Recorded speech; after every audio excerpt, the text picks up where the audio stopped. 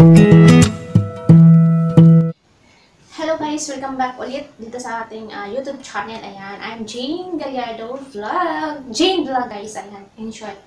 So meron na naman ulit tayo ni-unbox guys. Supposed to be ito yung unang-una kong natanggap kanina na napadala kay mama galing sa kanyang best friend or kakumari na ah, taga dito sa amin. Hindi namin siya kapitbahay kasi medyo malayo siya sa amin at talaga namang mga ilang mga ilang layo, mga ilang metro din naman yung layo, siguro mga isang kilometro, mga ganyan. Doon pa sa unahan namin siya nakatira.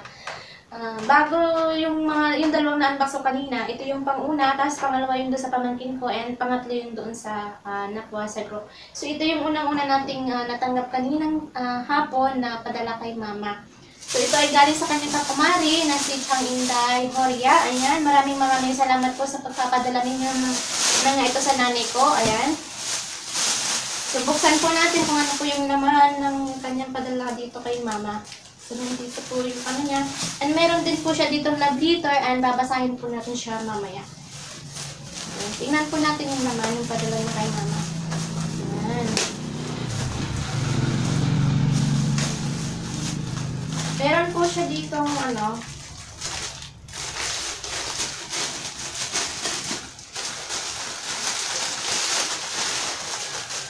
Meron po siya ditong pinadalang dalawang budgie bar at isang ribisco.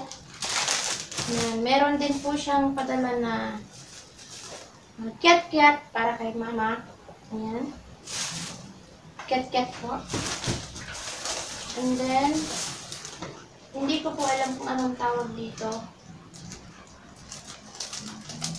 Ito po siya. So, galing pa siya ng fridge, ng refrigerator. Galing pa siya ng taladya. So, nakalimutan ko pong ilagay ng taladya kanina. Yung taladya po ay refrigerator.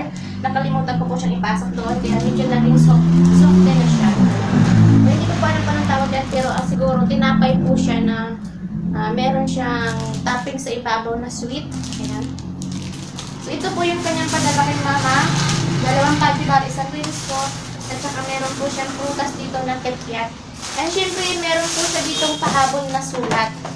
So, dito na lang po niya isinulat sa kapelaso ng, um, ng calendar kasi medyo na, siguro po nagmamadali siya kasi medyo may edad na rin po siya.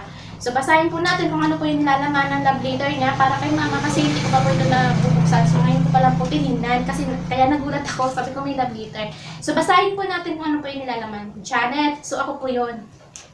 Pakisabi kay Mare, pasensya na talaga, gusto ko gusto kong pumunta diyan, kaya lang talaga yung bigat ng ng aking tuhod, simula dumaan ako diyan, hindi pa ako nakakapalabas punta ng labo. Pakain mo na lang kunting tiyaga at pasensya kay Mari o mama mo, yan ang tour. Yan, yan lang. Kasi di ko maintindihan yung sulat kasi yung sulat kamay po niya, iba sa sulat kamay ko. Kaya, hindi ko po naiintindihan yung iba. Pasensya kay Mari o mama mo. Yan, yan ang, ano to, yan ang tungkulin natin sa ating magulang. Ang Diyos na ang bahala sa inyo na marunong magmahal at mag matyaga mag-alaga. So, ang sabi niya dito, so naintindihan ko na, at, ah, pasensya kay, kay, kay kumari o kay mama mo. Yan ang tulong. Ay, ito. Pakainin mo na lang kunting tiyaga at pasensya kay mari o kay mama ko. Yan ang yan ang tungkulin natin sa ating mga magulang. Ang Diyos na ang bahala sa inyo na marunong magmahal at matyaga mag-alaga. So, ang ibig sabihin niya po dito, ang Diyos na raw po yung bahala ah, doon sa mga taong marunong magmahal o mag-alaga sa nanay ko. So sa akin po, marami pong nagsasabi na ah, pagpasensyahan ko yung nanay ko, ah, pagtyagaan ko siya, at bahala na lang daw po yung Diyos yung bahala, yung, yung, ano ba, bahala na daw, bahala na lang din daw po sa amin, yung Diyos ang magbigay sa amin ng, kung ano po yung mga ginagawa namin ngayon. Supposed to be po talaga before, hindi po talaga naging maganda yung ah, relationship namin ni mother. At marami po kami mga uh, trial sa pinagdaanan. So, hindi ko na po siya isa-isahin kasi talaga pong napaka-complicated po talaga. So, so alam ko naman po na may mga pagkakamali ako, pero may mga points din naman po na ah, bakit may mga ma- bakit ginagawa ko to, bakit ginawa ko yun. So, para sa mga open-minded at sa mga naka sa mga nakakaalam sa may intindihan po nila yun. So, basahin na po ulit natin. Ang, ang Diyos na ang bahala sa inyo na marunong magmahal at matyaga mag-alaga. Pakipaliwanag kay Mari ang kalangkayan ko, ang hirap, ang bigat ng tuhod ko. Nana Inday. So, ayan po, Tiyang Inday. Ah, maraming maraming salamat po dito sa sulat at sa ah kunting pagkain po na pinadala niyo dito kay Mama. Ah, ipapakain ko po ito sa kanya at sasabihin ko po sa kanya at ikikwento ko rin po sa kanya kung sino po yung nag-abot sa akin. Kasi po, si Ate Tess, Ah, niluloko niya po kasi si mama na sabi niya, sige nga tatawagin natin si Intaw. Ipapahilot-hilot natin yung kamay mo tsaka yung paa mo. So yun po ay joke-joke lang po namin para po mapatawa namin si mama kasi hindi na po talaga siya tumatawa or humingiti. So dahil po sa mga jokes na yun ni ate Tess, napapangiti po namin si mama. And syempre po ngayon lulukuhin ko siya or bibiruin ko siya.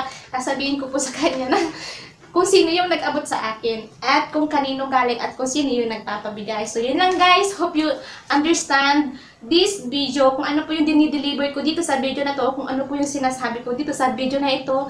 ah, no hard feelings, kung may mga nasabi man ako na hindi maganda, yun po ay explanation lamang. Okay po? So, sa mga nakakaintindi at sa hindi nakakaintindi, pakipanood lang po ng paulit-ulit para mas lalo niyong maintindihan.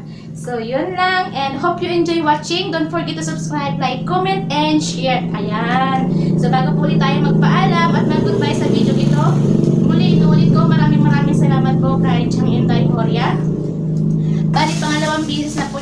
ah, pangalawang bisis na po niya ang pagbibigay ng ganito kay mama. Nung una po, ah, siya mismo po yung personal na nag-abot kay mama. And ngayon po, si Kuya Intaw po yung inutusan niya po para i-turn over po sa akin at ibigay ko po kay mama. And ngayon po, sasabihin ko naman sa kanya at babasahin ko rin po sa kanya yung nilalaman ng sulat. So, yun lang po. Bye and see you for the next one.